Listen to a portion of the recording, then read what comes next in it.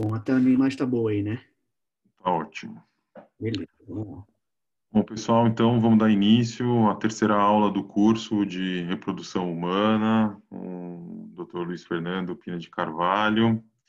Obrigado, Luiz, por mais um dia aí, mais uma reunião junto com o pessoal. Né? Lembrando aí que as duas outras aulas já estão disponíveis no canal do YouTube da Maternidade Cachoeirinha. Temos, temos o canal da Ginecologia e da Obstetrícia. Então, as aulas de reprodução estão no canal da ginecologia. Quem perdeu alguma das aulas, né, vai lá no canal, se inscreve e assiste os vídeos lá quantas vezes precisar. Obrigado, Luiz. Tem o tempo que precisar, fica à vontade. A casa é sua, como sempre. Obrigado, obrigado pessoal. É, obrigado, Luiz, aí, pelo convite mais uma vez. É, e vamos para a terceira aula. Assim, eu acho que é, eu estou gostando bastante desse, desse primeiro curso intensivo de reprodução, né? É, a gente está ajustando algumas coisas dos conhecimentos, mas, mas é isso. A gente vai para a terceira aula. Hoje a gente vai ter uma visão bem prática do que a gente falou nas primeiras, nas primeiras duas conversas. É, é, e, e aí, só para a gente relembrar o que, que a gente conversou para ser o primeiro curso intensivo de reprodução, é, a gente falou na primeira aula um pouco de história, algumas coisas sobre epidemiologia reprodutiva, né, quais são as principais causas de infertilidade. Na segunda aula a gente falou de diagnóstico, basicamente naquele tripé, né, esterossalpingografia, espermograma é, e diagnóstico clínico e laboratorial e de imagem de ovulação, né.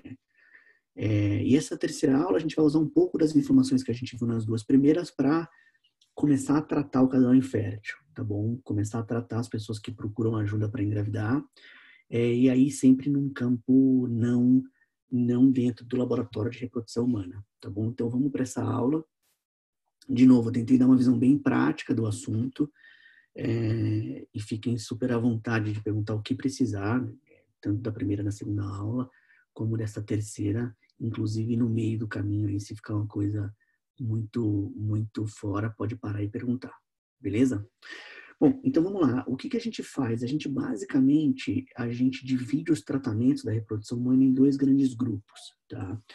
É, quando o casal procura ajuda para engravidar, todo aquele, aquele início dos exames, da discussão de quanto tempo o casal tem para que está tentando, um pouco do que a gente viu semana passada da reserva ovariana, aquilo tudo faz parte da tomada de decisão, né? Assim, todas as informações que a gente tem ali a gente usa para explicar para o casal qual tratamento o casal deve, deve, deve ter e quais são as reais chances né, do casal que está procurando um, um tratamento.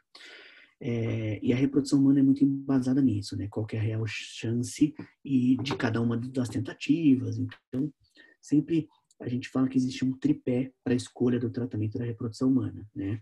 O tripé ele é muito baseado na, na parte psicológica do casal, né? Quanto tempo o casal já está tentando, com sofrido tal casal durante o processo, é, a parte física, né, quanto que a paciente aguenta, por exemplo, uma estimulação ovariana, ultrassom seriado, é, e claro que a parte financeira. Eu sempre falo que a reprodução humana, ela infelizmente é uma, é uma ciência guiada um pouco pela parte financeira. Nem todos os casais conseguem fazer todos os tratamentos. É, e se o casal conseguisse fazer todos os tratamentos, existe uma chance muito alta do casal sair grávido de um centro de reprodução humana, tá? Bom, então quais são os dois grandes grupos e quais são basicamente as grandes diferenças entre eles? Eu acho que esse primeiro slide é, é o que define a decisão em qual tratamento fazer, e aí com a visão um pouco mais técnica, é, e basicamente as grandes diferenças entre eles, tá? Bom, e por que a gente chama de baixa complexidade? Porque não necessita de um laboratório avançado de reprodução humana. Tudo aquilo que tem as incubadoras, o micromanipulador, tudo aquilo que compõe um laboratório de reprodução humana. E na última aula eu vou trazer um embriologista para falar um pouco do como que é um laboratório por dentro, tá? Em 15 minutos, só para vocês terem uma ideia de como é um laboratório. Mas basicamente é, a gente não precisa da, da assistência do laboratório para gerar uma gestação, tá bom? É, então, quais são esses procedimentos? A gente chama de do namoro programado, ou relação sexual programada, ou coito programado, depende de que livro que você vai ler isso basicamente é um auxílio é, programado, é uma gestação, é um, uma relação sexual programada é, para aumentar a chance de gravidez. E aí, eu sempre falo que o primeiro tratamento, que é o namoro programado, também ele serve para diagnóstico de vários outros problemas que eu já vou mostrar para vocês. tá? Então, o primeiro tratamento é o namoro programado é, e o segundo chama inseminação intrauterina.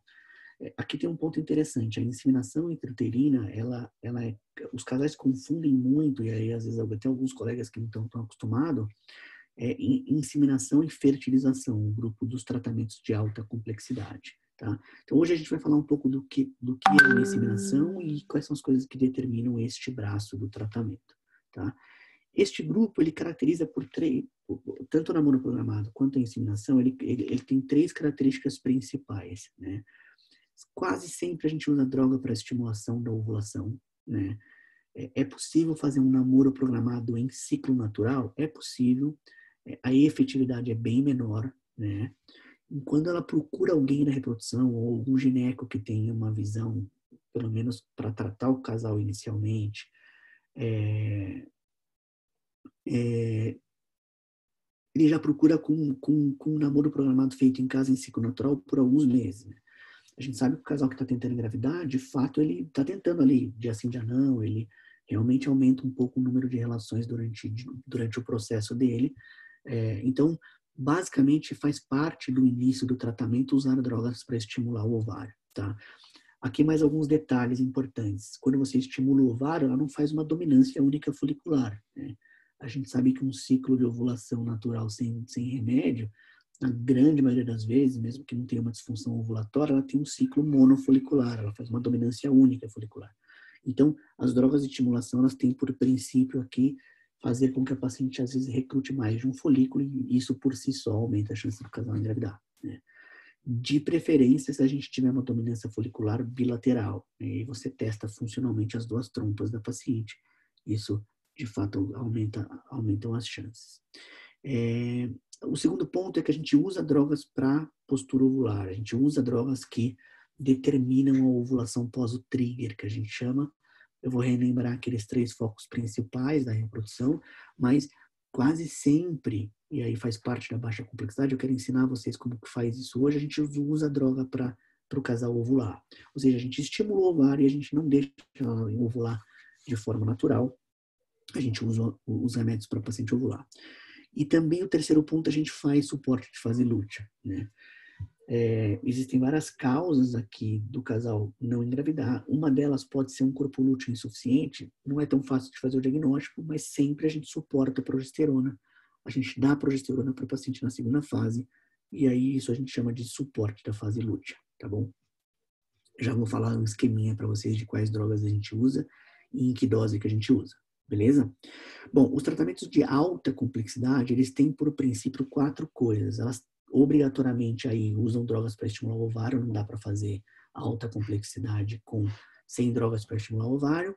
Obrigatoriamente tem o trigger, tem a maturação, é, tem drogas de suporte de fase lútea obrigatoriamente, mas aqui entra um, um, um ponto principal que é não dá para fazer alta complexidade sem bloquear o ovário, a hipófise da paciente. Né? O bloqueio hipofisário é obrigatório. É, e a gente vai entender nessa aula por que, que a gente tem que fazer isso, tá bom? Mais um detalhe aqui, porque que eu acho esse slide um dos mais importantes da aula, porque se você conseguir entender e compreender quais são os casais que vão para cima e quais os casais que vão para baixo, é, você já tem, eu acho que a gente já teve alguma informação importante nessa aula, é, e aí a gente já, já, já usou um pouco da nossa quarta-feira às 8 horas da noite para falar sobre reprodução, tá? Bom, genericamente, quando que a gente usa namoro programado? A indicação clássica em livros são para as pacientes anovuladoras, né? Então, por princípio, naquele tripé genérico da reprodução humana, que é ter uma trompa boa, ter uma tuba pérvia, ter um bom espermograma e ter uma ovulação, ou seja, um ciclo menstrual regular, é, a principal indicação do namoro programado é as disovulias. E aqui tem um grupo muito clássico, que são as anovuladoras crônicas com algum componente hiperandrogênico sérico, né? Então, aqui temos ovários, o ovário policístico, tá? o OMS tipo 2, a disfunção ovulatória da OMS tipo 2, tá bom? Então, basicamente, quem vai fazer namoro programado é, são as pacientes que têm alguns distúrbio ovulatório. Na prática, vocês vão ver que não é só isso, né? Ovular mais de uma vez aumenta a chance, é, mas em livro o que se fala é a principal indicação, que são as pessoas que não ovulam, ou seja, se você corrigir a ovulação e ela for exposta ao risco de engravidar em 3, 4, 5 meses, esse casal vai engravidar. O segundo ponto aqui, a inseminação, ela basicamente, a única indicação para a inseminação, e aí de novo, estou falando de livro, é para o fator masculino leve, né? São as alterações de espermograma que, se você pegar esse sêmen, for para o laboratório e capacitar o, sêmen do marido, você vai aumentar a chance do casal engravidar, né? A gente não fala hoje em dia muito em fator cervical, é, mas basicamente é a capacitação seminal que a gente faz no laboratório para poder inseminar. E aí é, a gente passa um catéter no colo do útero e a paciente tem alguns benefícios da inseminação, tá bom? Se o paciente tem um sêmen ótimo, você corrige a ovulação, aumenta a ovulação, não tem por que inseminar é, é, comparando com namorar em casa, tá bom? Então, a aula de hoje a gente vai focar nesse aqui. Eu falei assim, tudo bem, essas são as principais indicações, mas como eu faço isso? Né? É, não vamos falar como que a gente diagnostica, né? A gente já falou de trompa, espermograma e ovulação na aula anterior, mas a gente vai tentar passar um passo a passo aqui como que a gente trata essas baixas complexidades. Os procedimentos aqui de baixo, aqui eu já acho difícil o gineco geral caminhar um pouco neste, nestes tratamentos, né?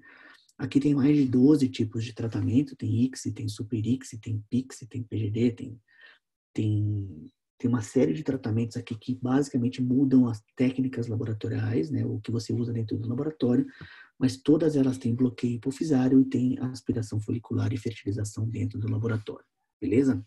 A aula seguinte a gente vai falar disto aqui, tá bom? A gente vai falar basicamente para vocês conhecerem um pouco da nomenclatura, para vocês conhecerem um pouco da evolução embrionária até blasto, como que a gente, como que Gardner, por exemplo, classifica um blasto, isso tudo na aula seguinte, na aula que vai ser na semana, na, na próxima semana, beleza? Bom, então nosso foco hoje é falar de baixa complexidade e alguns protocolos de destino.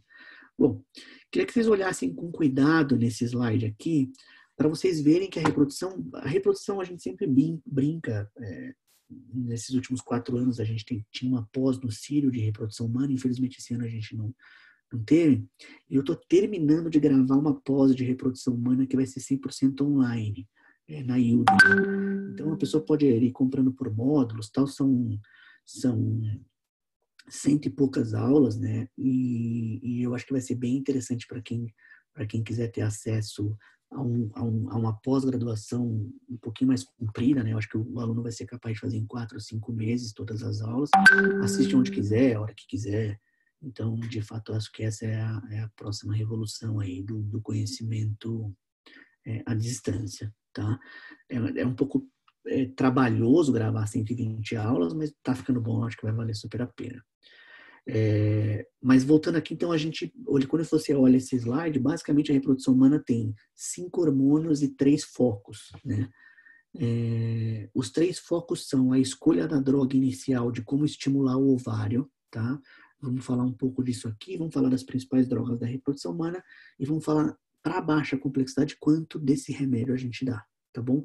Qual remédio dá e quanto deste remédio dá. Então, o primeiro foco assim, vamos estimular o ovário. Quando ele que ele começa? Numa fase chamada de fase de recrutamento folicular, né? Entre o primeiro e o terceiro dia do ciclo menstrual, ou seja, antes de assumir um pico de FSH aqui. Então, a escolha da droga e a quantidade da droga. O segundo ponto é fazer a paciente ovular, é o que a gente chama de trigger. Qual droga fazer e quando fazer? Aqui são duas perguntas que você tem que resolver. Qual droga dá, como fazer este pico de ovulação e quando? Eu acho que a principal pergunta é quando. É, vamos falar sobre isso hoje, tá? E a terceira é quando começar o suporte de fazer luta e com quanto de remédio, tá bom? Esse é o terceiro, o terceiro, o terceiro foco, tá? E basicamente o que você tem que pensar na reprodução humana é nesses três focos e qual remédio que você vai escolher para cada um deles, tá bom? Relacionada ao a, a paciente em si, beleza? Bom, a segunda coisa para tomar a decisão daqueles três focos, que isso aqui eu acho que eu, eu, eu queria colocar em quase todas as aulas, mas se eu pudesse explicar isso para vocês e vocês entendessem isso, eu já ia estar tá muito feliz. É, a gente, o gineco geral, ou quem trabalha em reprodução, precisa correlacionar o endométrio com o ovário. Né? Isso traz muita informação, né? traz, traz muita informação se ela tem realmente um ciclo menstrual regular, é, e traz muita informação de se ela tem algum, algum distúrbio ou se o folículo que ela está recrutando no ovário tem relação com o endométrio. Então, pus esse slide de novo para mostrar que esse é um trio antiverso flexão. A gente tem bexiga e retro aqui para trás. É, a gente tem cúpula vaginal. É, tem a parte posterior aqui que dá para ver lesão de endometriose. É, mas basicamente a gente tem um endométrio atrófico aqui, sem grandes, sem grandes, desvios, sem grandes problemas, tá bom? Então, endométrio da fase inicial do ciclo, o que a gente chama de fase folicular precoce, ou seja, o início da fase folicular, tá bom? É, aqui a gente tem um útero em, em, em retroversão, né? Que mostra um endométrio trilinear, é, típico do final da fase folicular, tá bom? Fase periovulatória, o final da fase folicular. É, é importante também olhar a posição do útero para relacionar o endométrio, né? Os úteros que estão em antiverso flexão ou retrovertido, fica mais fácil de olhar o endométrio. Os úteros que são médio vertidos, quando você faz ultrassom transvaginal, é, a, a, a, o som ali que, que, que, incide dentro do endométrio, ele não incide perpendicular. Então você não tem esse aspecto clássico do endométrio. Então fica mais difícil de você definir em que fase do ciclo que, ela, que a paciente está. Estou dizendo fase endometrial do ciclo. Então, fase folicular tardia e aqui fase lútea, já tem um efeito da progesterona importante aqui. Então, endométrio de segunda fase do ciclo, tá bom? Isso, se tiver na nossa cabeça, a gente vai sempre olhar para o endométrio e a gente fala assim, poxa, se eu não achar o ovário e ela estiver nesta fase, ela tem estrogênio. Eu tenho que achar algum folículo aí porque ela tem um folículo funcionante. Outra coisa, por exemplo, você olha uma paciente que tem um folículo lá de 14, 15, um endométrio fino. Isso provavelmente é um cisto, ela não tem um folículo funcionante ali. E aí você pode tomar as decisões que você quiser relacionada com a dosagem hormonal sérica, tá bom? Então, fase endometrial do ciclo é uma coisa que eu queria muito que vocês vissem. Bom, para você entender baixa complexidade, você precisa entender algumas, alguns aspectos aqui de ovulação, tá? Ovulação, ele é um, um mecanismo complexo, né? Existem vários, vários mecanismos ali de, de aumento de, de, de, de, de, de infusão de líquido dentro ali da granulosa, né? Do, do espaço entre a granulosa e a teca. É, existem ação de prostaglandinas, existem enzimas proteolíticas para fazer com que é, com que o folículo rompa né, e tenha uma ovulação satisfatória. E por que, que a gente fala nesse mecanismo? Porque quando a gente quando a gente está fazendo tratamento de, de, reprodução humana, a baixa complexidade você não atrapalha o complexo folicular, né? Você não faz uma coisa que chama luteólise. Na alta complexidade, na FIV, a gente coloca uma agulha no folículo da paciente. Então a gente rompe essa estrutura de granulosa e teca que ela tem. E isso chama luteólise. Toda vez que a gente aspira o óvulo de dentro, a gente tira um pouco de granulosa e essa luteólise faz com que ela tenha um corpo lúteo não funcionante, tá? Então a gente atrapalha a ovulação dela e aí obrigatoriamente ela tem que ter suporte de progesterona, senão ela, não, ela perderia a gestação, tá? O segundo ponto importante aqui são os hormônios que estão relacionados à ovulação e aí eu queria que vocês gravassem isso. O que, acontece num ciclo normal? A paciente tem um pico de estrogênio circulante. Né? A exposição do estrogênio de forma prolongada por praticamente 40, 50 horas hipotalâmicas faz, faz com que a paciente tenha um segundo pico 12 horas depois de LH. Então, é, ver se vocês conseguem acompanhar esse raciocínio. O FSH começa a recrutar um folículo no ovário. Aquele folículo tem receptor de granulosa de FSH e a principal função desse receptor é estimular é, a produção de E2 pelo ovário, tá bom? É, esse E2, que é o nosso estrogênio mais forte, que é o estradiol, ele tem uma ação direta hipotalâmica para controlar a secreção de FSH, aquele feedback mais conhecido. O problema é que esse folículo continua crescendo e ele continua produzindo estradiol. Quando esse estradiol chega num pico de 280, 300 picogramas de estradiol circulante, com uma exposição de umas 30, 40 horas, 12 horas depois desse pico tem um pico de LH. E 36 horas depois a paciente ovula, tá bom? Entender estes picos faz com que a gente entenda também quais são as. Faz para paciente. Tem um, um barulho aí no microfone. Beleza? Então, se vocês quiserem anotar para gravar, eu acho que entender o processo todo é mais fácil, mas 12 horas depois do pico de estrogênio, ela tem um pico de LH e 36 horas depois do pico de LH, ela tem ovulação. Beleza? É basicamente isso. É, o que, que acontece na reprodução humana, é, que é a base da reprodução humana? Imagina que cada folículo daquele ali que ela tem no ovário, ele vai produzindo estradiol. Né? A gente tem quatro estrogênios no corpo, né? E1, E2, E3 e E4. É, então a gente tem estrona, a gente tem estetrol, a gente tem estradiol, que é o E2, é, e a gente tem. É, já vou lembrar, vou lembrar último. Desses todos, é, bom, já vou lembrar. Desses todos, o estradiol é o mais forte. E imagina que o folículo que está crescendo ali está produzindo estradiol. Quando você dá uma droga para estimular o ovário da paciente, cada folículo que está recrutando ali, ele vai produzir um pouco de estradiol. Ou seja, no sétimo, oitavo dia do ciclo, a paciente já tem um estradiol suprafisiológico. E se você não bloquear a hipófise da paciente, se a paciente tiver este efeito estrogênico na circulação, ela vai fazer o pico de LH muito precocemente. Então, a base da reprodução humana é aumentar a concentração de estradiol e fazer com que a hipófise não perceba esse aumento do estradiol e para ela não ovular, tá bom? É o que a gente chama de bloqueio hipofisário. Então, queria que vocês gravassem essa informação é, para a gente seguir com essas coisas. Bom, existe ativação de, de plasminogênio, existem várias coisas que digerem ali é, é, a parede folicular. Isso tudo a gente chama de luteinização da membrana basal, tá bom? O apagamento da membrana basal e a formação de um corpo lúteo que tem a capacidade de produzir estrógeno e progesterona, beleza? É, e é isso aqui é um pouco do, do ciclo é, do ciclo menstrual, da parte fisiológica do ciclo menstrual. Queria que vocês gravassem esses picos, tá bom? É, um slide que ajuda muito o médico a pensar em baixa complexidade é este aqui. Quando você começa a tratar uma paciente para fazer baixa complexidade, você tem, você tem na sua mão o ultrassom, né? É, você tem que aprender a, a, pelo menos, ou ter alguém que faça um ultrassom no dia que você precisa, ou você precisa aprender a fazer. Essa eu acho que é uma das maiores dificuldades, não é nem conhecer tecnicamente como faz, mas é ter um ultrassom na mão. Eu acho que não dá para fazer baixa complexidade sem você ter um ultrassom na mão, tá? Acho que o ultrassom é o braço direito da reprodução humana. Né? E é um ultrassom simples de fazer, né? A gente faz lá os, os três módulos da Cetros, não sei o quê, faz seis meses, um, um ano de, de, de ultrassom e você já consegue fazer todas as ultrassons da reprodução humana.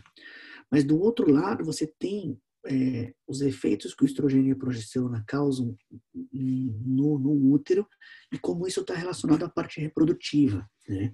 Bom, a gente já falou, o estrogênio é um hormônio mitogênico, o estrogênio faz vaso reto, faz hiperplasia endometrial, né? A gente viu que o endométrio vai crescendo, crescendo, crescendo, crescendo até o finalzinho da fase folicular. Um endométrio adequado tem pelo menos 7 a 10 milímetros, acho que essa é uma outra informação importante. É, e o muco é um muco filante, só que a gente escuta várias vezes, né? A gente não usa muito essa informação na gineco geral, para a reprodução é super importante. Né? Então, falar para a paciente assim, olha, é, você vai acompanhar o seu ciclo, a gente vai ter algumas informações do seu ciclo, e naquele momento onde o seu muco está mais filante, é, é, realmente o momento onde a gente tem um estradiol mais alto, que é um hormônio que é importante para você, é, e aí está muito próximo da fase periovulatória. Como que a gente usa essa informação? Quando você está acompanhando o estímulo de uma paciente, ela já te comenta isso. Doutor, ó, deu alguma alterada no meu muco aqui. Claro que ela não vai falar muco, mas ela, ela já te dá um sinal de mais ou menos como está a dosagem sérica de estrogênio dela. É, e você pode interpretar isso como um dia de trigger, um dia que você vai fazer a postura ovular para a paciente namorar. É, do mesmo jeito que a gente tem um estrógeno, um, estrógeno, um estradiol, é, que é o hormônio da paciente que quer ficar grávida, a gente tem a progesterona, que teoricamente é o hormônio da paciente que já está grávida.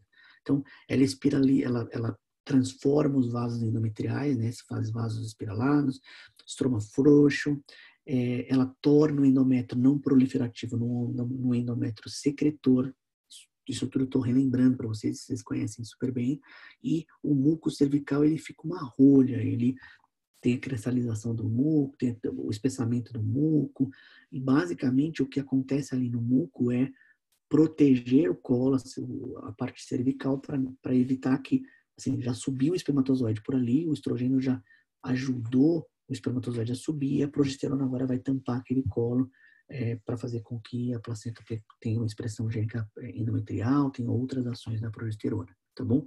Como que a gente usa essa informação em baixa complexidade? A gente basicamente vai observando isso na paciente.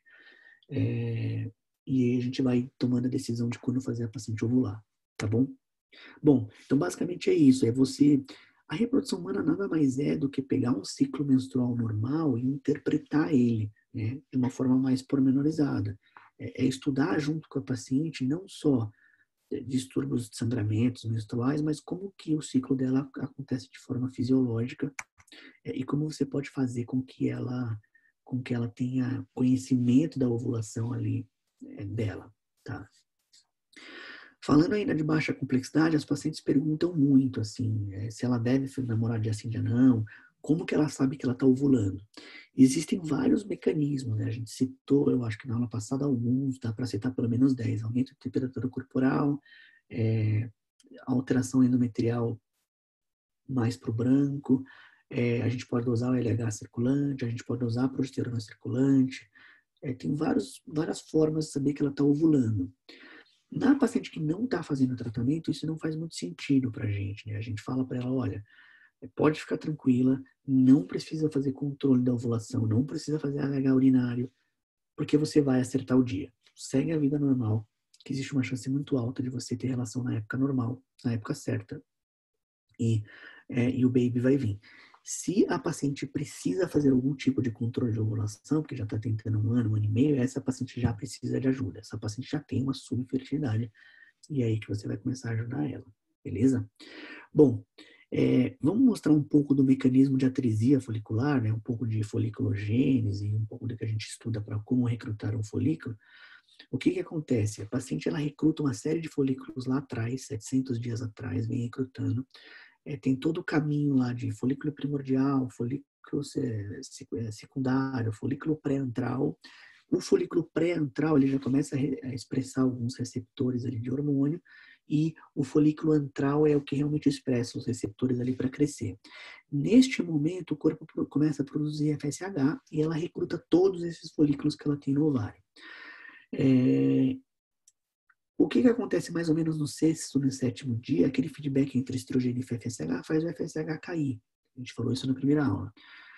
É, o que, que, a reprodução humana faz que é suprafisiológico? A gente não deixa esse FSH cair, a gente mantém o FSH alto. E aí faz, é isso que faz a paciente recrutar mais de um folículo, tá bom? Então a base do estímulo ovariano é não deixar que no quinto e no sexto dia ela tenha um step down, por exemplo, de FSH, é, continuar dando FSH e a gente tem a capacidade de recrutar mais de um folículo, tá bom? O que seria uma dose fisiológica aqui para recrutar um ou dois folículos? de, de FSH, tá bom? A gente já vai falar um pouco das drogas, mas basicamente seria mais ou menos 75 unidades de FSH, entre 50 e 75. 37,5 é no terceiro, quarto dia do ciclo, 75 unidades de FSH, entre 50 e 75 seria uma dose fisiológica de recrutamento de um folículo ovariano. Né? 50 para recrutar um, mais ou menos 75 para recrutar é, é, dois ou três folículos, tá bom? É, se você usar uma dose maior, né, se você usar um estímulo com uma dose maior, a gente já está falando de 187,5, 225 até 300 unidades de FSH recombinante urinário, você já está falando de alta complexidade, tá bom? Então, na baixa complexidade, a gente usa uma dose menor de gonadotrofina ou a gente usa alguns remédios que a gente já vai falar que são os viorais, tá bom? Então, uma janela de recrutamento folicular menor é, e o recrutamento, opa, desculpa, e o recrutamento, uma tentativa de um recrutamento de dois folículos, e na alta complexidade a gente tem um recrutamento de mais folículos. É, e aí a ideia de recrutar mais folículos é formar bons embriões e aumentar a chance da paciente engravidar, tá bom? Bom, essa tabela também fiz questão de colocar, né? É, em alta complexidade a gente usa esses cinco hormônios, né? GNRH, FSH, LH, estradiol e progesterona. Em baixa complexidade, a gente usa basicamente FSH, tá bom? Ou FSH com LH, a gente usa GNRH? Não, a gente não usa GNRH na baixa complexidade. E a gente usa progesterona. A gente usa FSH, LH e progesterona, ou alguns efeitos desses aqui, tá bom? É... Vamos falar então um pouco das drogas. E aqui, assim, o que eu queria que vocês vissem aqui? Um, um, um panorama geral, né, de quais são as principais drogas da reprodução humana. É, vocês não vão decorar todos esses nomes, tá? É, e como escolher esses remédios por alvo. Lembra que a gente tinha alvo 1, alvo 2 e alvo 3. Bom, o alvo 1, basicamente, são remédios que têm FSH e barra 1 LH, tá bom? E a segunda pergunta que você tem que responder é se esse FSH é recombinante ou ele é urinário, tá? Então, primeira pergunta, a droga é só de FSH, a droga tem FSH e LH, e a droga tem FSH ou LH, urinário ou recombinante, tá? Estou é, falando das gonadotrofinas injetáveis. Então, são drogas que têm FSH e LH. E aqui tem duas drogas importantes que eu queria mostrar para vocês, que são drogas via oral, tá? Uma é o citrato de clomifeno, né? Vamos falar um pouco do mecanismo de ação dele e vamos falar do inibidor de aromatase. Bom, rapidamente, por exemplo, a gente tem o Menopur, que é uma droga que é, é a menotropina. Ela tem um pouquinho do efeito de FSH e tem efeito de LH, ou seja, 75 unidades de FSH, 75 unidades de LH. A gente tem o Bravelli, que é o FSH. A gente tem o FSH recombinante, que é o Gonal. Não sei se vocês já ouviram falar um pouco dessa droga. Gonal é uma droga da Merck, por exemplo, que é FSH recombinante. Puregon, a gente tem Elonva. Ou seja, a gente tem drogas ali. A gente tem o Luveris, que é o LH. A gente tem o Pergoveris. Ou seja, são cinco ou seis drogas que mesclam a concentração de FSH com LH urinária ou recombinante. Tá bom? É, o segundo alvo, que é aquela de ovulação, a gente tem o HCG. Né? Lembra que o HCG tem uma subunidade muito parecida com o LH. Então, a gente pode fazer aquela ovulação através do HCG. Tá? Aqui a gente tem o choriomon, que é um HCG urinário de, mulher, de mulher na menopausa. E a gente tem um HCG recombinante, que é o Ovidrel. Tá? São duas, dois remédios que fazem a paciente ovular que são remédios do trigger, que a gente chama, que são remédios daquela segunda fase. É, e a gente tem os agonistas também para fazer trigger e os antagonistas para bloquear a, a, a hipófise. Não vou falar desta fase aqui agora, comentei rapidamente um pouco de quais são essas drogas, agora vamos focar nessas duas principais e vamos falar um pouco do FSH, beleza? Bom, esse slide é aquele slide clássico, né, que a gente, como que a gente bloqueia a hipófise, a gente bloqueia com os antagonistas ou com os agonistas. É, só voltando a uma informação principal, por que, que a gente pode usar os agonistas para fazer a ovulação? Porque o agonista, quando você usa o agonista, a gente tem um flare, ou seja, a hipófise libera todos aqueles hormônios hipofisários. E quando ela libera tudo aquilo, ela libera um monte de LH na circulação e a paciente realmente tem é, a maturação final dos óvulos para ovulação. Então, você pode fazer a ovulação com os agonistas, você pode provocar a ovulação com os agonistas, ou você pode provocar a ovulação com é, o HCG, tá? Em baixa complexidade, você pode fazer essas duas coisas. Você pode dar o ovidrel para o paciente ovular, ou você pode fazer os agonistas. Os mais clássicos é, são os HCGs, tá bom? É, Bom, de novo, mesmo slide aqui falando um pouco das drogas, né? A gente falou usado o Pergoveres, né, que é o FSH e o LH recombinante. A gente falou do Luveres, que é o LH recombinante. Então, o que a reprodução humana faz, ela escolhe se ela quer dar um LH urinário ou não em qual dose, tá bom? Basicamente é isso. E o terceiro alvo é o suporte de fase lútea, que é o quanto que a gente vai dar de progesterona para o paciente. Aqui a gente pode dar as progesteronas que estão no mercado. A gente pode dar Ultrogestan, que é a mais usual. A gente pode dar Dufaston, que é uma outra progesterona via oral. A gente pode usar Crinone, que é uma, uma progesterona também vaginal. A gente pode usar progesterona injetável, ou seja, a escolha de uma progesterona ali para ajudar a paciente na segunda fase, beleza? Bom, a gente tem 20 minutos, vamos falar então um pouco da parte prática aqui de como fazer a ovulação nas pacientes que vão fazer baixa complexidade, tá bom? Então, qual que é o resuminho? A paciente tem que ter pelo menos uma trompa boa, pelo menos uma tuba pérvia, e um bom espermograma, tá bom? Para ser elegível para baixa complexidade, tá? É, e aí lembra que sempre que a gente tem que corrigir a ovulação, a principal indicação para baixa complexidade são as disovulias. Bom, esse aqui é uma foto de um estímulo, de um controle ovariano que serve para quase todos os tratamentos da reprodução. Então vamos dar uma olhada com cuidado aqui. como que a gente faz os ultrassons para acompanhar a ovulação? Nas, no, namoro, no namoro programado, né, no coito programado, na inseminação, e basicamente é mais ou menos o que a gente faz também na FIV. Todo ultrassom começa com a paciente menstruada. Então, você sempre faz um, paciente, um ultrassom com a paciente menstruada. Por quê? Porque é ali que a gente chama de janela de oportunidade. É ali que a gente chama de janela de recrutamento folicular. É aqui que deve começar os remédios. Por que, que aqui tem que começar os remédios? Porque se você começar no sexto, sétimo dia, ela já recrutou um folículo. Se você estimular, esse folículo vai crescer muito rápido, ele vai estar com 18, 19 e vai ter folículo que vai vir atrás com 13, 14. Então a gente chama isso de duas ondas de crescimento folicular. Duas ondas de crescimento folicular, não, você não vai ter um controle estimulatório adequado. Então, o primeiro ultrassom é sempre com a paciente menstruada, tá bom? O que, que você vai olhar nesse ultrassom? Se o endométrio dela tá fino, né? ela está menstruada, o endométrio tem que tá fino, e se ela não tem nenhum cisto no ovário, não recrutou nenhum folículo, não tem nenhum cisto, é, se você tiver alguma dúvida, você pode dosar hormônio aqui no comecinho, os hormônios têm que estar tá baixo, o estrógeno está baixo, a progesterona está baixa, o LH está baixo, tá bom? É, e o FSH também tem que estar tá baixo, né? Aqui não necessariamente ele está baixo, né? Nas pacientes que têm baixa reserva, mas é, o ideal é que esses quatro, esses quatro hormônios estejam baixos. Bom, fez um ultrassom, a paciente não tem nenhum cisto grande, é, você vai escolher a droga que você vai usar, tá? Depois que você escolheu a droga, a paciente vai começar entre o segundo, terceiro e quarto dia o remédio. É, e normalmente a gente faz um ultrassom, o primeiro ultrassom entre o sexto e o oitavo dia, tá bom? Se for alta complexidade, a gente faz no sexto dia. Se for baixa complexidade, normalmente no oitavo dia. Bom, para que serve esse segundo ultrassom? Primeiro, para mostrar quantos folículos ela recrutou, né? E se ela tem uma discordância muito grande entre os folículos que ela recrutou, tá? E aqui você já vai dar uma olhada no ovário dela, é, no, desculpa, no endométrio, para ver se o endométrio dela está respondendo aos hormônios que estão sendo produzidos ali no ovário, né? Principalmente o estradiol. É, é, estou tentando lembrar o nome do, do estradiol. Estrona, estradiol, estetrol e estriol. Bom, lembrei, são os quatro. O, o principal é, é, é, o E2. O E4 é o, este, o estetrol, que a gente só tem na vida intraútero. Beleza?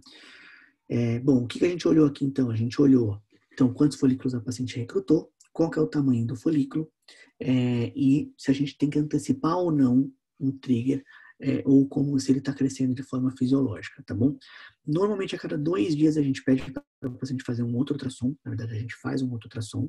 Então, faz de conta que aqui no oitavo dia a paciente tem um folículo de 13 de tamanho. Normalmente o crescimento folicular médio aqui depois do primeiro dia é 1 a 2 milímetros. Então você vai fazer um outro ultrassom depois de dois dias, a paciente vai ter 15 de tamanho folicular, tá? Como que mede o folículo? Dois diâmetros, um diâmetro principal e um outro lateral. E a média entre esses dois diâmetros dá o diâmetro médio folicular, tá? Então aqui vai estar 15. É, e a gente repete um segundo, um terceiro entre o décimo segundo dia do ciclo e teoricamente ela tem que estar aqui entre 18 e 20 de tamanho folicular. Então, no décimo segundo dia ela tem um folículo de 18 de tamanho, ou seja, 1,8 centímetros. Lembra que é o tamanho folicular médio. Aqui a gente vai dar o remédio para ela ovular e 36 horas depois, no 14 dia, ela vai ovular, tá bom? É, lembrar sempre que é 36 horas. Então, normalmente o casal dorme à noite, né? Ou seja, a relação que você está programando para eles fazerem à noite. Então, você vai usar o HCG no dia anterior, na hora do almoço. Então, umas 11 horas da manhã, para ela namorar no dia seguinte à noite, das sempre 36 horas tá bom? Então, quando o folículo dominante com o diâmetro médio tiver maior ou igual a 18, você está liberado para fazer o trigger, tá bom? Estudar a dominância folicular, medir diâmetro, contar o número e fazer o HCG aqui para paciente namorar depois de 36 horas. Então, essa é a figura geral de um tratamento de baixa complexidade. Bom, é, eu sempre subestimo os slides aqui, mas vamos tentar terminar pelo menos citrático de um inibidor de aromatase. Vou passar meio rapidinho no citrático clomifeno. Citrático clomifeno é uma droga que a gente estuda bastante, é uma droga de 1960, chamada de pílula da fertilidade. Basicamente, três nomes comerciais, o clomídio, o serofene e o indux. Né? É, quase todos eles têm a mesma ação. É, as doses são entre 50 e 150 miligramas, tá? Basicamente, ele é um derivado é, não esteroide chamado de CERM, né? Cada receptor em cada lugar do corpo tem uma resposta diferente ao bloqueio. É, e aí, basicamente, o que ele faz, ele ocupa o receptor de estrogênio ali, é, hipofisário e hipotalâmico, ele satura o receptor, é, e aí o corpo não consegue interpretar o estrogênio circulante. E aí a resposta é, a esse bloqueio de receptor é o aumento de FSH. Então, é uma resposta indireta, mesmo que o estrogênio estiver alto circulante, é uma resposta indireta para aumento da secreção de FSH, tá bom? É, deixa eu ver aqui, mesmo com os endógenos baixos. Bom, é, o estrogênio, ele se liga ao receptor que eu falei nuclear, né? Obrigatoriamente é um, é um, é um receptor nuclear é, por um tempo mais prolongado. Então, essa é uma coisa que eu queria mostrar para vocês. Então, eu pus aqui três slides para entender o mecanismo de ação do, do, do. Como o bloqueio dele é prolongado, quanto tempo demora o bloqueio dele? Entre 3 e 4 dias, você precisa fazer uma conta para parar o remédio pelo menos 3 a 4 ou 5 dias antes de você olhar o, a resposta do endométrio a esse, esse estrogênio circulante que está alto. Então, o bloqueio que ele causa neste receptor ele é super importante para estudar o início do, do, do, estímulo ou que dia que você quer dar o estímulo, tá bom? Mas ele age ali no receptor e bloqueia. Bom, a segunda fase é o bloqueio hipotalâmico, a depressão de receptor, impede a interpretação dos glicéricos de estrogênio, foi o que a gente falou, né? O que cai sempre em prova de título de especialista é a diferença entre o citrato de clomifeno e inibidor de aromatase é que o, o citrato de clomifeno é de receptor. Então, o estrogênio está alto na circulação. Então, precisa suplementar estrogênio quem está bloqueando a hipófise com citrato de clomifeno? Não precisa, o estrogênio já está alto na circulação. O que você precisa fazer basicamente é esperar perder o bloqueio para você ter uma resposta endometrial, tá bom? Então, basicamente, o corpo não interpreta a dosagem de estrogênio, o feedback negativo aumenta a secreção de FSH e a paciente tem o desenvolvimento, e o, e o impulso é, do crescimento folicular. Bom, esse slide acho que a gente já mostrou, mas basicamente é o bloqueio de receptor central e também existe um bloqueio importante uterino, tá? A ação antiestrogênica dele aumenta é, FSH e o E2 circulante está alto e o ponto principal aqui é, é, você vai escolher uma dose, basicamente uma dose, a dose inicial ela está entre 50 e 100 miligramas por dia e você vai parar o remédio pelo menos 3 a 4 dias antes do que você está programando pela postura ovular, tá? Todo mundo pergunta isso, começa mais próximo do, da menstruação ou mais para frente? Depende muito da resistência ovariana da paciente. Se a paciente faz uma fase folicular mais longa, você pode começar um pouco mais para frente. Se você não souber, do terceiro ao sétimo dia. São, são cinco dias de remédio, tá? Um, dois, três, quatro, cinco. Do terceiro ao sétimo dia é o mais fisiológico. É para paciente fazer um ciclo de 28 dias, tá? Faz um ultrassom menstruada. No terceiro dia, começa a dose escolhida. Se você puder escolher entre 50 e 100 inicialmente, pode usar 100, não tem problema, por cinco dias até o sétimo dia é, e faz um ultrassom no oitavo dia, tá bom?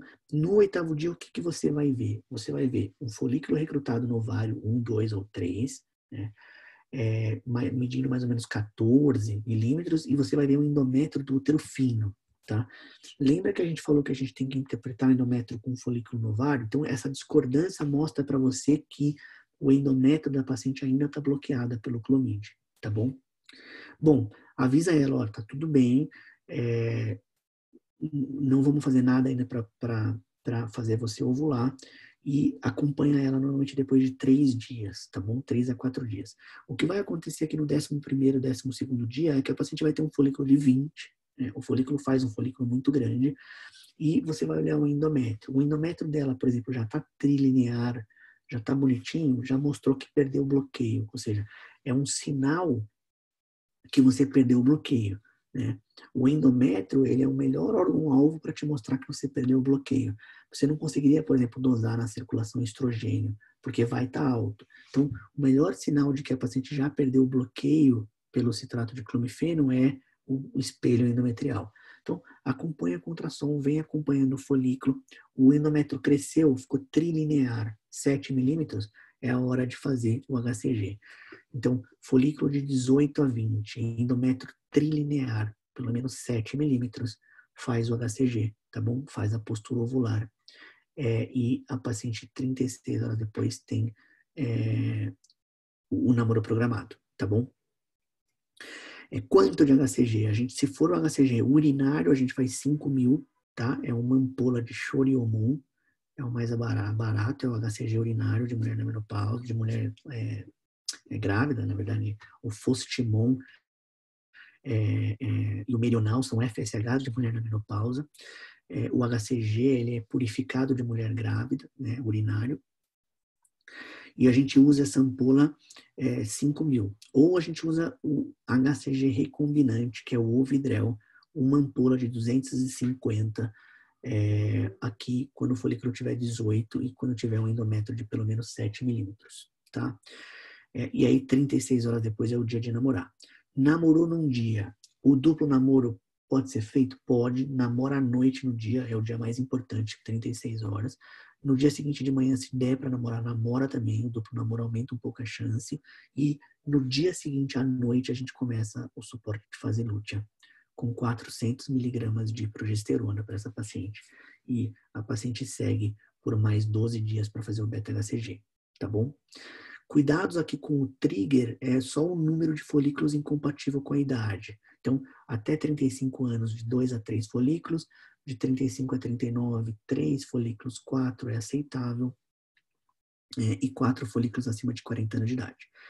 O detalhe é que se você estiver fazendo baixa complexidade com uma paciente de 40 anos de idade, é que provavelmente você está atrapalhando um pouco o processo dela engravidar. Talvez essa paciente deva ir para alta complexidade. Beleza? Bom, não vamos focar muito em efeitos colaterais, dá um pouco de onda de calor, né? Esse, o estrogênio, ele é basicamente um hormônio vasoativo. Né? Lembra que toda a deficiência, o hipoestrogenismo da paciente faz vagina é, com pouco glicogênio, faz secura vaginal, faz é, alteração vesical, faz a paciente ter onda de calor. Então, este, este bloqueio é, de, de vaso também pode fazer uma onda de calor transitória, oscilação do humor, seja, tem algumas coisas que podem acontecer da parte visual também. O estrogênio é um hormônio que tem receptor em, em bastante, é, em grande parte do, do corpo, tá bom? Então, uma fotinha mais simples aqui, do terceiro ao sexto dia. 100 miligramas, 100, 100 miligramas, 100 miligramas de citrato de clomifeno, é, dois comprimidos via oral por cinco dias, ultrassom no oitavo dia, ultrassom entre o décimo e o décimo primeiro dia, folículo de 18, 20, com endométrio é, entre 7 milímetros, HCG e IDEXEG, tá bom? É, o único detalhe aqui, só para a gente terminar a avaliação aqui, é que se você olhar no 12 dia e o endométrio tiver 5, por exemplo, e o folículo tiver 21, faz o ultrassom no próximo dia. Dá mais um dia para o endométrio dela começar continuar crescendo. Não precisa fazer estrogênio, o endométrio dela vai crescer, ela está cheio de estrogênio circulante. É, e faz o, o HCG no, no próximo dia, mesmo que o folículo esteja um pouco maior. Então, o que guia você fazer o trigger é mais o endométrio não o tamanho folicular. Bom, o inibidor é. normatal. Oi. Deixa eu te perguntar umas coisas aí antes de você passar para o próximo, para a próxima droga. Boa.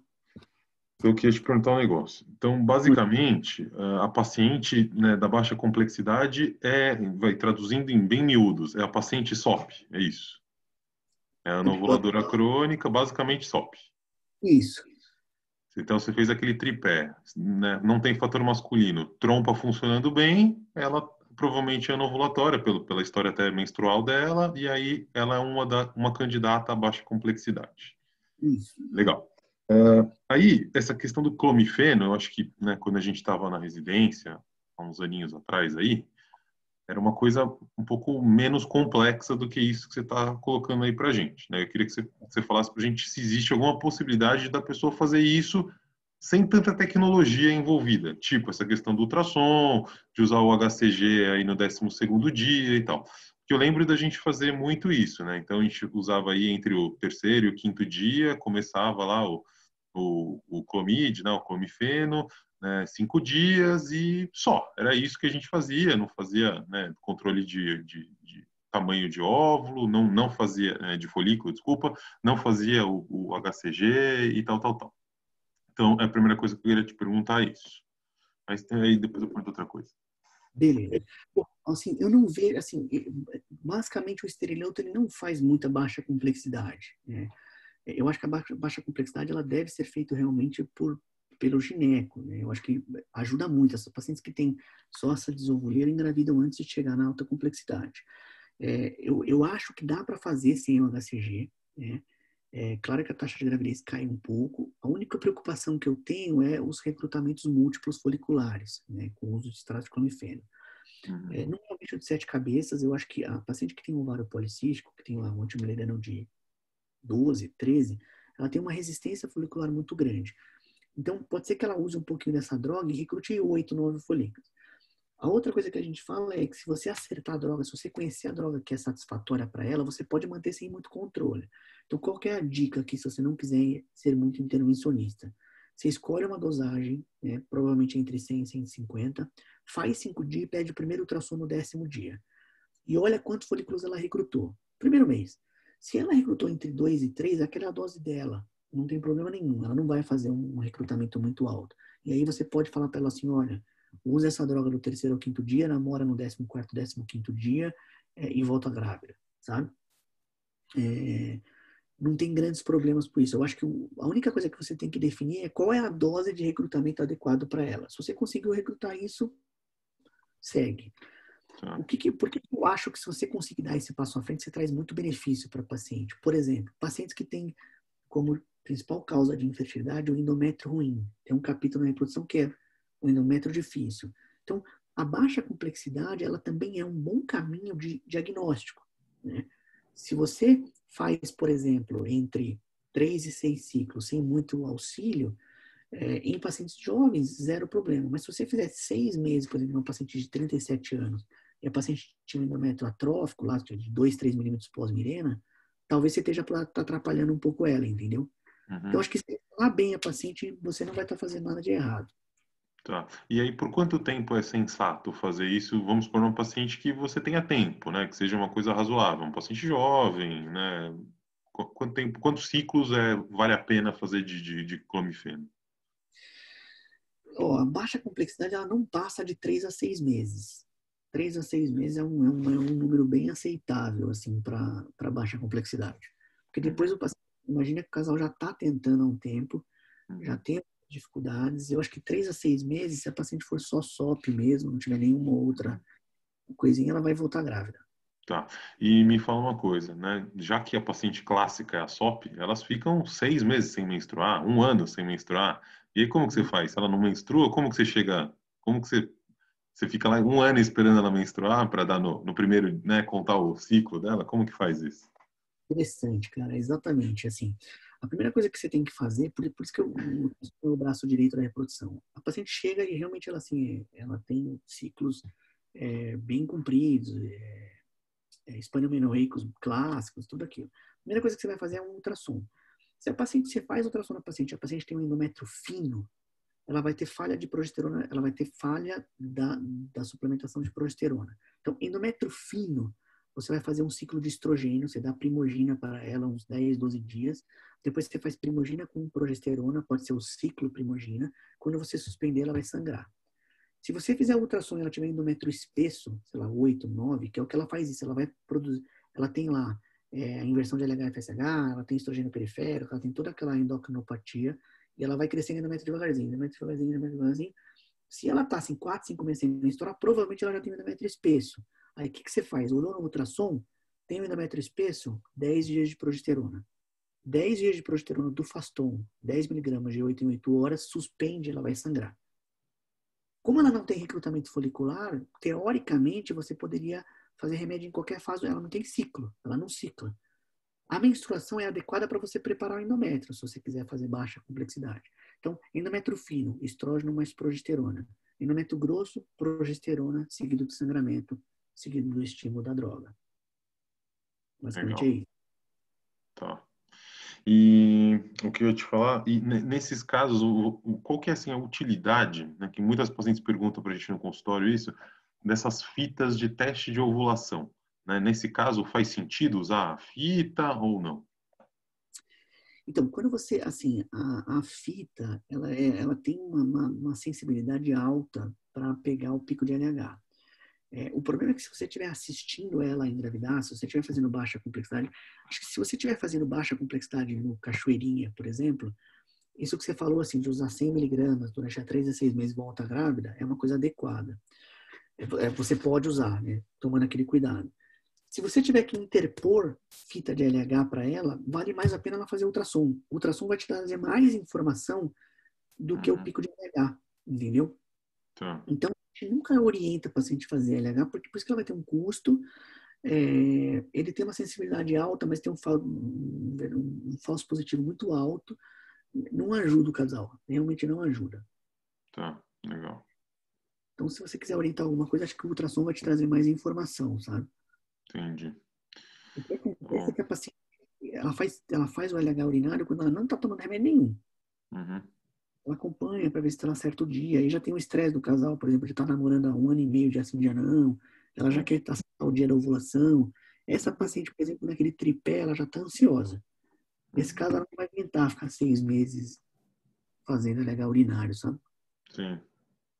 Não, legal. E assim, essa coisa do clomid, né, do clomifê, né, é um negócio que eu acho que essa é, é, é, é não sei, essa é a minha experiência, assim, a minha vivência de consultório. Assim, isso é, é o dia a dia. As pacientes me perguntam quase todos os dias sobre isso né? Pô, não posso tomar comifena, minha amiga tomou, eu já tomei por minha conta e tal, tal, tal. Então, isso, isso acho que é uma coisa que tem que ficar na cabeça de todo mundo, né? Que vai fazer consultório de ginecologia, entender bem como é que funciona isso, saber orientar, né? Saber explicar para ela dos riscos e tal, tal, tal.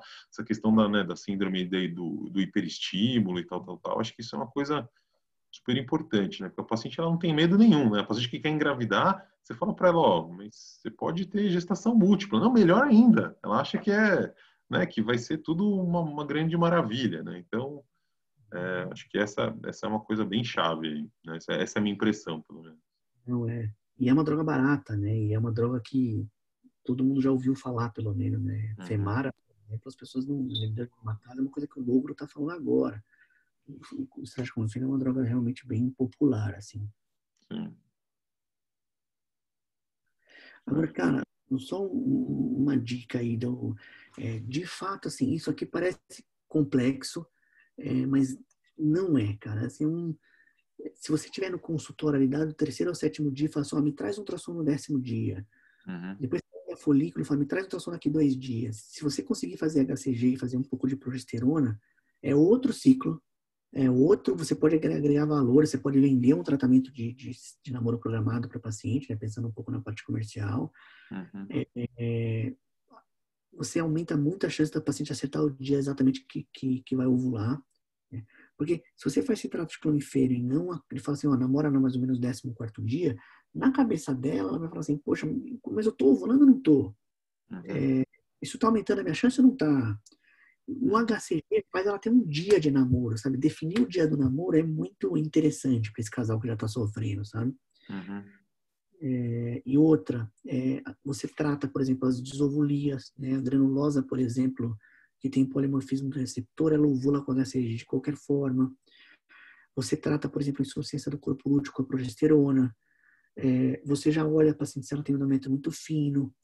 É, e assim, acho que a curva de aprendizagem aqui para fazer a baixa complexidade com o clomifeno, ela é assim, só querer, sabe? Pelo menos uns 3, 4 uhum. meses, se fizer em 10 pacientes, você já vai estar tá com, com isso na mão.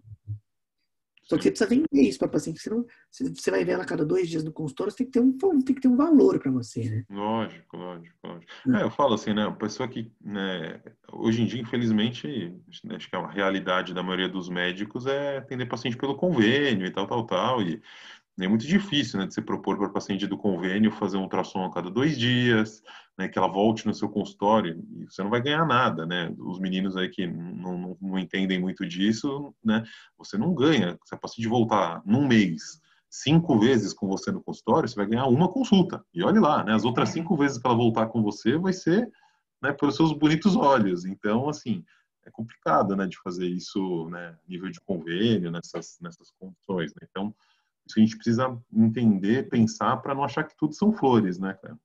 Sim, sim. A Tati aí também tem, tem experiência, pode dar alguma contribuição aí, né, Tati? Deixa eu ver a Tati. Acho que tira o share da minha tela aqui ou vai? Você vai, você vai falar mais alguma coisa, não? Eu queria mostrar só o letrozol, se der tempo. Então, vamos embora. Acho que a Tati está indisponível. Oi, não. Ah, eu estava falando, eu estava falando com o microfone e a câmera desligada, desculpa. Ah, boa. É, eu falei o seguinte, que no consultório elas às vezes não conseguem nem agendar o ultrassom com essa facilidade. Né? Você pede um ultrassom, demora para elas conseguirem marcar. Uhum. Então, é, parece que é fácil, ah, é só fazer um ultrassom, mas às vezes é complicado. Uhum. Aí não conseguem voltar com você também. E é o que você falou: se ela voltar cinco vezes, você vai ganhar uma consulta. Sim. E são, são consultas, geralmente, esse tipo de paciente não é uma consulta rápida. Né? É uma consulta assim que demanda um tempo, que você tem que ter muita paciência, porque geralmente elas já estão bem ansiosas, então não é fácil mesmo, é bem complicado. É. é. talvez é. isso que, que o Luiz falou, né, de você criar com ela um programa, né, de, de coito programado, né? Você vai vender um tratamento completo para ela e aí, né, você tem que ter um parceiro, talvez que faça um ultrassom, que esteja envolvido aí no teu no teu planejamento e tal, tal, tal, né? Que isso é isso talvez pensar na, na, na estrutura toda da coisa, né? É. É, não, exatamente. A gente, a gente fez um levantamento interessante do, de 600 médicos que usavam citrato de comiferina em São Paulo. Dos 600 médicos que estavam ali, eu acho que 200 e poucos tinham ultrassom em consultório. É, os outros, sei lá, 340, eu acho que realmente os caras faziam todo esse esse esforço que, na minha opinião, é realmente sobrenatural. É conseguir marcar um ultrassom no momento que você precisa. É, uhum. É, de fato, ultrassom é um, é, tem que ser seu braço direito e ter em consultório é uma coisa, é uma coisa que ajuda muito. A gente tem ultrassom, eu faço ultrassom todos os dias em todas as pacientes. Uhum. Então precisa ter realmente esse, esse, esse, essa facilidade, né? É. é porque, assim, né, sei que estamos fugindo um pouco até né, do, do tema da aula, mas é, os meninos aí às vezes eles ficam com uma, uma ilusão, né? Às vezes eles têm uma, uma ideia de que o consultório do ginecologista precisa ter tudo, né, cara? Precisa ter um aparelho de ultrassom, precisa ter um colposcópio, precisa ter um esteroscópio, você precisa, né, amarrar a tua paciente do começo ao fim. E essa não é a realidade da maioria das, das pessoas, dos maiores dos consultórios, né? Não tem, não tem é. sentido você ter um ultrassom no consultório, né, para todo para todo mundo, né? Então precisa ter uma aplicabilidade razoável. Então você que faz, né, com, né reprodução no teu dia a dia, faz sentido para você ter um ultrassom no teu consultório e tal. E talvez esses colegas que tenham, esses 200 que tenham, eles fazem alguma coisa nesse sentido, né? Acho que o cara que atende convênio, né, aquela paciente né, média, é difícil do cara ter essa realidade, né? O pessoal que volta para o interior, né, que né, vai, vai voltar para sua cidade, atendendo o consultório do pai, geralmente lá, sei lá, no interior de São Paulo, é difícil isso tudo, né? É mesmo porque os aparelhos são caros, né? Você tem que ter uma grana, fazer um investimento para comprar. Hum. E se você não conseguir credenciar o exame, mesmo se você conseguir, não é, não é fácil, porque se você for ver o quanto que o convênio paga uma colposcopia, às vezes não vale a pena o investimento que você Sim. faz né? Então tem que é, essa ideia de que tem que ter tudo no consultório tem que pensar muito bem mesmo, porque às vezes você empaca um dinheiro ali quando você vai ver você não vai ter o retorno daquilo, né? Exato. É, eu acho que uma das dificuldades da reprodução humana, e se você conseguir passar para o gineco geral, é exatamente essa. O que a gente fazia na pós, a gente falava assim, nessas pacientes que são onovuladoras, você, você aprende a fazer uma série de contas para programar exatamente quais vão ser os dias de ultrassom. Então, sei lá, o paciente está com, com endométrio espessado. Você vai fazer 10 dias de progesterona, ela vai sangrar depois do terceiro, quarto dia. Você sabe quando ela vai começar o citrato clomifeno. Você sabe que dia que vai cair o oitavo dia e o décimo. Então, você já entrega os pedidinhos é, e ela já, já tem isso tudo programado. E ela consegue te mandar para WhatsApp. Ou seja, não é uma coisa impossível. Eu acho que a pessoa que perde tempo com isso, ela já gosta um pouco mais do assunto ela já consegue porque a pessoa quando não tem um pouco do crescimento da especialidade ela aquilo irrita ela né? Eu vou ficar vendo ultrassom de novo podia estar tá vendo outra PTVI aqui ou podia estar tá vendo outra mama se a pessoa é mastologista. É, então de fato assim acho que ter o conhecimento para fazer um pouco se você conseguir calcular todas essas datas e vender um pacote para o paciente olha como cirurgia eu atendo por convênio mas a sua esterectomia laparoscópica vai ser tanto é, talvez se você conseguir agregar um valor ali no tratamento de baixa complexidade dela, seja uma coisa interessante. É, ou, ou encaminhar, né? Sim, bacana. Não, acho que isso deu uma boa, um bom panorama e acho que bem legal, bem legal esse papo. Beleza, desculpa aí, vamos, retoma aí teu, teu raciocínio. Não, eu acho que eu acho que era isso. Eu queria mostrar um ciclo de baixa complexidade. Se tiver mais cinco minutinhos a gente falar do do, do letrozol. Vai lá. E um pouquinho da, da gonotrofina. Deixa eu só ver o que, que aconteceu com o meu slide aqui. Eu acho que eu acabei fechando, que eu, eu, mas minha tela tá com vocês ainda aí, né? Tá, tá. Beleza. É, é, então, o inibidor da aromatase, assim, por muito tempo, por muito tempo ele foi off-label, né? É, ele ainda continua em vários lugares, mas existe um, um, um pesquisador americano chamado Rogério Lobo, ele é o cara que publica os New England de ovário policístico e, e os usos do inibidor da aromatase para estimulação ovariana, né? Então, o mecanismo a gente é, é, basicamente é muito parecido, mas ele inibe a enzima que produz o estrogênio, né? A gente usa 5 miligramas por dia. De novo, do terceiro ao sétimo dia, acho que o terceiro ao sétimo dia é um bom, é um bom controle disso tudo. É, e aí, se você não tem o estrogênio circulante, o corpo entende que não tem e aí continua produzindo FSH. E isso tem um, um, um estímulo ovariano importante. Então, como fazer um ciclo com letrozol? usar do terceiro ao sétimo dia, né? É, fazer um ultrassom entre o nono, décimo, décimo primeiro dia, o HCG entre o décimo segundo, e aí suplementar, suplementar progesterona pós-ovulação, beleza? Então é um ciclo muito parecido com o citrato clomifeno.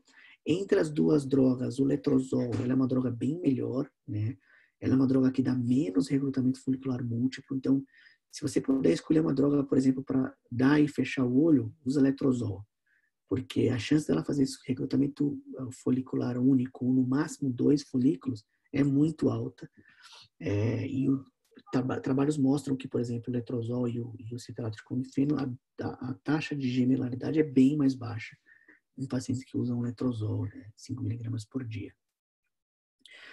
É, e não tem um efeito negativo endometrial, né? A dose que o, que o endométrio precisa para crescer com estrogênio, ela é bem mais baixa com o paciente estimulado. Então, o paciente faz endométrio mais bonito, o paciente não faz recrutamento folicular múltiplo é, e, é, e, é, bem interessante.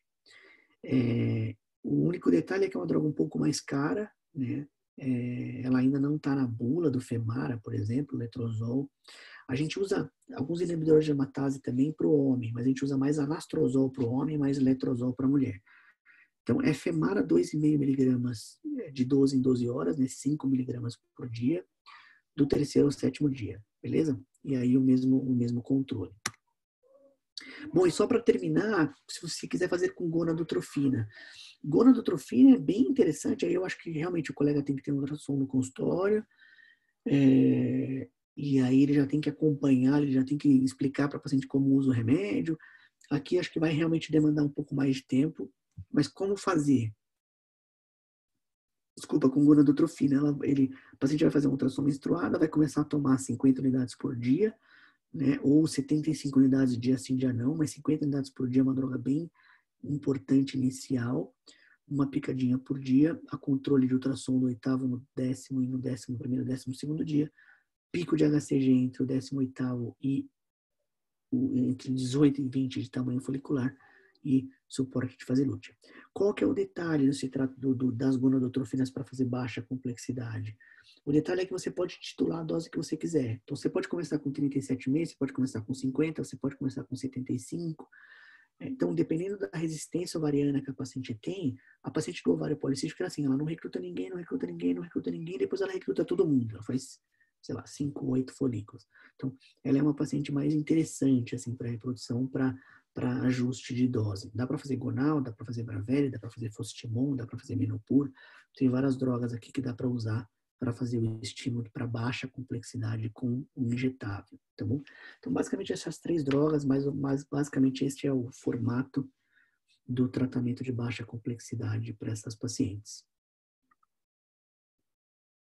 Acho que podemos abrir para pergunta. Eu não queria fazer uma aula muito longa também, porque no final das contas, as pessoas não, não, não, não, guardam tanta informação quando, quando a conversa fica mais longa.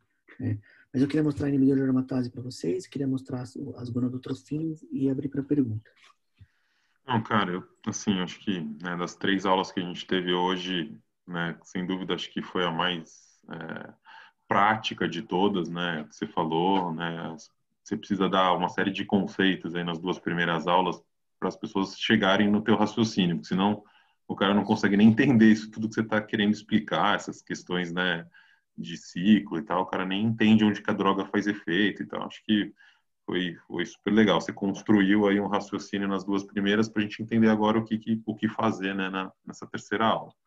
Então, acho que foi bem legal. É, eu acho que eu já fiz as perguntas que eu tinha para fazer aí durante a aula, te interrompi. Eu não sei se, a Tati quer fazer alguma pergunta, ou os meninos. Eu quero fazer uma pergunta. É, quando a paciente, aí estou pensando naquela paciente que quer congelar os óvulos, né? Como é, que, como é que é feita essa captação? É dessa forma, como se ela fosse fazer uma fertilização? É assim que faz? Essa curiosidade que a gente vem, né? A mulherada está cada vez mais postergando a maternidade, né? E chega, já está chegando bastante paciente no consultório querendo congelar os óvulos.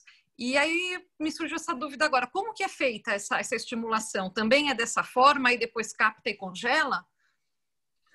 Legal, pergunta muito legal. A gente, a gente, eu programei falar sobre criopreservação social da fertilidade na quinta aula, é, e a gente vai exatamente como esse raciocínio para chegar na quinta aula, falar um pouco da reprodução. Assim, basicamente, a gente não falou de reprodução humana ainda, né, do que a gente faz realmente dentro da reprodução. É, mas para tentar responder a Tati, eu achei não, mas não responde então. Se está na quinta aula, a Tati é, tem que voltar spoiler. na quinta aula. Mas acho que eu vou, eu vou dar uma, mas acho que eu vou dar só um, um para não, não deixar de responder assim. O que, que a gente faz então na, na preservação social da fertilidade? Que são essas pacientes que estão ficando mais velhas e precisam preservar né? essa, essa segunda onda, a segunda revolução feminina. Basicamente a gente usa mais remédio, né? A hiperestimulação ovariana controlada, ela é quanto, teoricamente com uma resposta melhor, você vai ter mais um maior número de óvulos maduros e segue realmente como se fosse uma fertilização. A primeira etapa da fertilização, até a aspiração folicular, ela é exatamente da mesma forma. É, a diferença é que a gente denuda o óvulo no finalzinho, a gente faz a aspiração folicular, né? o egg retrieval é exatamente igual. A gente tira todos os folículos ali do ovário, conta o número de óvulos maduros, e aí tem, tem basicamente as técnicas para criopreservação. Então, respondendo, é, é, muito parecido que com isso, né? O controle é um pouco mais rigoroso. Você tem que acertar exatamente o bloqueio hipofisário para o paciente não ovular, com uma dose de gonadotrofina bem mais alta e depois a aspiração folicular. Na, na quarta aula, na próxima aula, eu vou mostrar exatamente como faz uma aspiração folicular, como que é um ciclo de alta complexidade, como que é a aspiração folicular e como que é a transferência de embrião. Basicamente o que a gente vai mostrar na quarta. E na quinta a gente vai falar de oncopreservação, né? Preservação da fertilidade em paciente com câncer, é, estrogênio dependente, inibidor de aromatase para aumentar estrogênio, uma série de detalhes ali. Da preservação social da fertilidade, isso é uma coisa muito legal, é o que está aumentando muito, né? Os pacientes procurando realmente para congelar. É, e aí vamos falar de algumas outras técnicas mais avançadas, de CRISPR-Cas9, de biópsia de embrião, e umas coisas. Mas a, a, ideia é a pessoa ter uma ideia geral do que a gente está fazendo. E uma outra coisa legal aí da, da Tati, é, eu achei muito legal porque eu aprendi bastante com ela. Não sei se você lembra quando eu era residente. Claro que eu lembro. Luizinho e Luizão. É, é, mas é, é, bem legal, né? Falar sobre os assuntos. Eu, eu, acabei fazendo a reprodução, então não vejo mais nada também. Isso é uma, a gente emburrece em algumas coisas, né? A gente vê muito uma coisa e emburrece nas outras. Mas a gente, a gente vê algumas empresas estimulando, assim, isso é realidade, assim, o Facebook pagando congelamento de óvulo para as pacientes, para as grandes empresárias de 36, 37 que não querem engravidar agora. A Amazon, por exemplo, paga de graça para as pacientes congelarem óvulo. É, tem algumas técnicas novas também de tecido ovariano. Não sei se a Tati vai estar até a quinta aula, mas a gente Deus tá, quiser. A gente está congelando o tecido ovariano para a paciente entrar na menopausa com estrogênio natural mais tardio. Então a reprodução humana está fazendo bastante coisa interessante. Assim, é, é bem legal a especialidade. Legal, bem, bem legal. Algum dos meninos aí quer perguntar alguma coisa? Então tá bom. Gente, obrigado, Luiz, obrigado mais uma vez. Cara, tá sendo muito legal o curso, né? Acho que isso aí vai, vai virar moda na Cachoeirinha, esse curso, hein? Deus Bacana, quiser. meu. Obrigadão. Nos vemos a semana que vem, então, pessoal. Legal, gente. Obrigada, hein? Obrigada, Obrigado. Luizinha. Obrigada, Valeu. Luizão. Beijo para vocês. Até semana que vem. Tchau. Tchau.